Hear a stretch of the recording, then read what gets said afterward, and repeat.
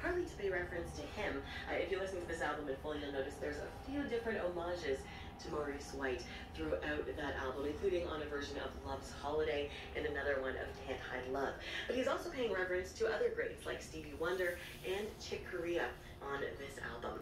Before that, had some Michael K. Hammer in the works with Sweet Touch of Love from his album With You in Mind.